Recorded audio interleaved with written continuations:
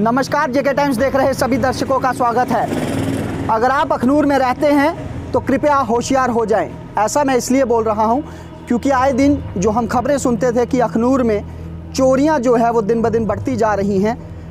कल रात की ही बात है कि एक ऐसी ही घटना जो है, वो होते होते बची है। दो चोर जो पहले 31 जनवरी को भी इसी दुकान पर हाथ साफ़ करने की कोशिश कर गए थे। उनके द्वारा कल रात दोबारा एक बार फिर से असफल प्रयास इस दुकान के ताले तोड़ने के किए गए। ये वारदात अखनूर में किसी दूरदराज इलाके की नहीं, बल्कि मेन बाज़ार से ही पास में, जहाँ पे नई सब डिस्ट्रिक्ट हॉस्पिटल की इमारत बन रही है।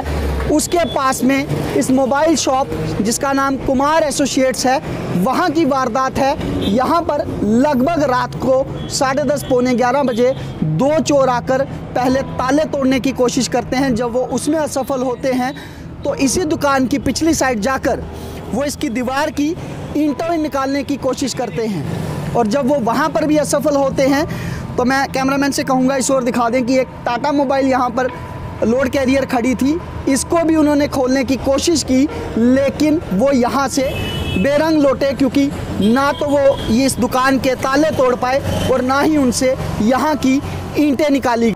मौजूद हैं सीधे इनसे जानते हैं कि और पता करते हैं कि आखिर क्या वारदात हुई है। सर सबसे पहले तो आपका जेके में स्वागत है। स्वागत है जी। आ, सर आ, जानना चाहूँगा कि आखिर क्या वारदात हुई और आपको किस तरह के पता चला?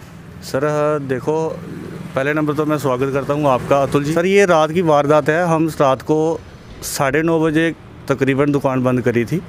मैं तो पहले चला गया था। मेरे भाई लोग जो दो भी पीछे बचे थे वो फादर साहब थे उन्होंने साढ़े नौ बजे दुकान बंद करी है। उसके बाद हम चले गए।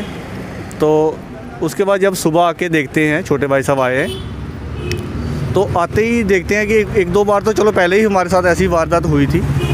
और जब उन्होंने देखा कि ताले कटने की साजिश करी है और कटर मारे हैं और कोई बड़ी लंबी सी राड लेके ताले तोड़ने की बड़ी ज़्यादा कोशिश करी है। और ये चीज़ अगर ये नहीं तोड़ सका जो भी आए थे चोर जो भी थे और उन्होंने क्या किया और पीछे चले गए दुकान के पीछे फिर उन्होंने क्या ईंटें निकालना शुरू कर दी ठीक है? जिससे वो असफल रहा बंदा जो भी आया था। और काफ़ी देर तक वो बंदा दो तीन घंटे आपने आपने सीसीटीवी कैमरे भी लगाए हैं। क्या कैमरों में उनके कुछ दृश्य जो है वो कैद हुए हैं? सर कैमरे में पहचान तो नहीं हो रही है लेकिन बंदा आया है। दो दो बंदे प्रॉपर दिख रहे हैं लेकिन उसकी प्रॉपर जो फेस में पहचान नहीं हो रही है। जी। ठीक है तो क्या ये, ये वारदात सिर्फ़ कल रात को हुई है? क्योंकि जिस तरीके से आपने पहले बताया कि 31 जनवरी को भी सेम ऐसा ही हुआ है। जी सर ये इकतीस जनवरी को सर ये रात को ग्यारह बज के पैंतीस मिनट पर ये भी बंद पहले भी बंदा वारदात कर चुका है हमारे साथ ऐसे। और हमने ये पुलिस स्टेशन में भी इन्फॉर्म कर दिया हुआ है।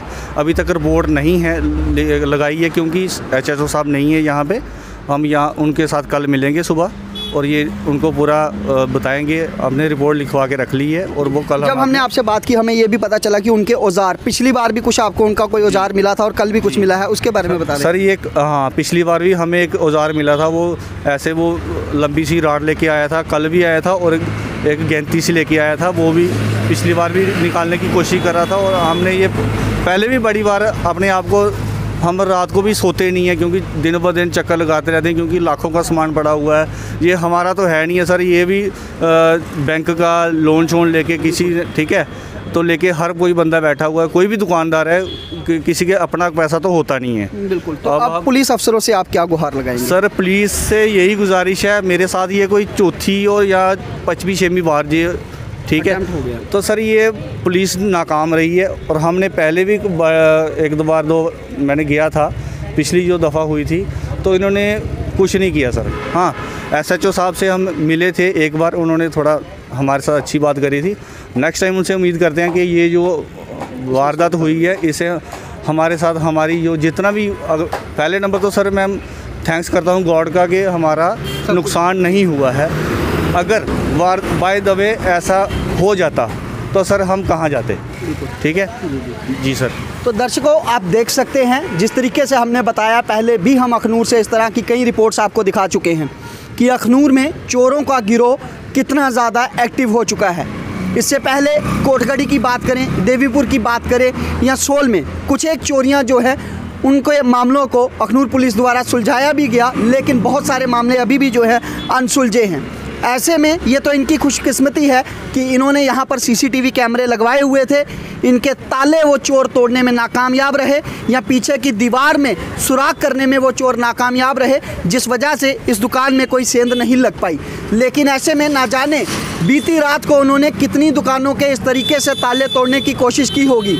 ऐसे में अखनूर पुलिस को चाहिए कि इस पूरे मामले को गंभीरता से ले और जल्द से जल्द ऐसे चोरों की शनाख्त करके उनको सलाखों के पीछे डाला जाए ताकि अखनूर के शहरवासी, अखनूर के दुकानवासी जो हैं, वो चैन की नींद सो सकें। उम्मीद करते हैं जम्मू कश्मीर पुलिस के आला अधिकारी जो इस रिपोर्ट पर को देख रहे होंगे, वो ज़रूर इसका संज्ञान लेंगे और ज़रूर इसके ऊपर कोई सख्त कार्रवाई करेंगे। आप लोग जुड़े रहिए जेके टाइम्स के साथ। जय हिंद, जय भारत।